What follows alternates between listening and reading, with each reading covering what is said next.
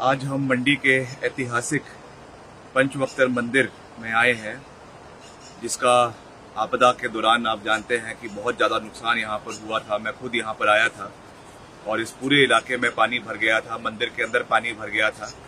इसका रेस्टोरेशन सरकार द्वारा किया गया है और आज इस प्राचीन मंदिर को वापस उसी शैली में वापस रिस्टोर करने का कार्य हमने किया है।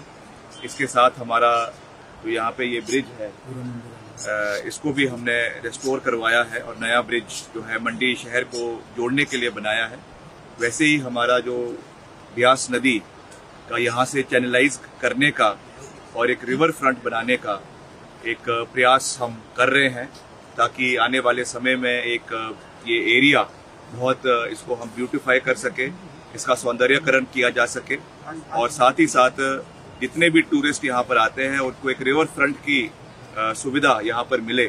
तो ये मेरा प्रयास रहेगा जब हम चुनाव जीतेंगे। उसके बाद हम जो ये ब्यास का रिवर फ्रंट है, मंडी शहर का बड़े ऐतिहासिक पंचवक्तर मंदिर के साथ, इसको जो है डेवलप किया जाएगा।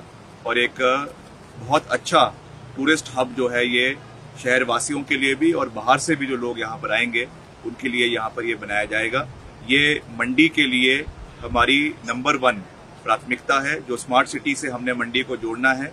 उसमें ये प्रोजेक्ट एक बहुत बड़ा प्रोजेक्ट आने वाले समय में इस इलाके की विकास के मील में साबित होगा। आज हम मंडी के ऐतिहासिक पंचवक्तर मंदिर में आए हैं, जिसका आपदा के दौरान आप जानते हैं कि बहुत ज़्यादा नुकसान यहाँ पर हुआ था। मैं खुद यहाँ पर आया था और इस पूरे इलाके में पानी भर गया था, मंदिर के अंदर पानी भर गया था। इसका रेस्टोरेशन सरकार द्वारा किया गया है और आज इस प्राचीन मंदिर को वापस उसी शैली में वापस रिस्टोर करने का कार्य हमने किया है।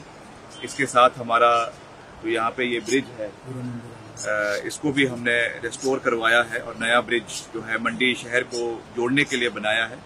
वैसे ही हमारा जो ब्यास नदी का यहाँ से चैनलाइज करने का और एक रिवर फ्रंट बनाने का एक प्रयास हम कर रहे हैं। ताकि आने वाले समय में एक, ये एरिया बहुत, इसको हम ब्यूटिफाई कर सके, इसका सौंदर्यकरण किया जा सके। और साथ ही साथ, जितने भी टूरिस्ट यहाँ पर आते हैं, उनको एक रिवर फ्रंट की सुविधा यहाँ पर मिले। तो ये मेरा प्रयास रहेगा, जब हम चुनाव जीतेंगे, उसके बाद हम जो ये ब्यास का रिवर फ्रंट है, मंडी शहर का बड़े ऐतिहासिक, पंचवक्तर मंदिर के साथ, इसको जो है डेवलप किया जाएगा। और एक बहुत अच्छा टूरिस्ट हब जो है ये शहर वासियों के लिए भी और बाहर से भी जो लोग यहाँ पर आएँगे, उनके लिए यहाँ पर ये बनाया जाएगा। ये मंडी के लिए हमारी नंबर वन प्राथमिकता है, जो स्मार्ट सिटी से हमने मंडी को जोड़ना है। उसमें ये प्रोजेक्ट एक बहुत बड़ा प्रोजेक्ट आने वाले समय में इस इलाके की विकास के मील में साबित होगा। जय हिंद।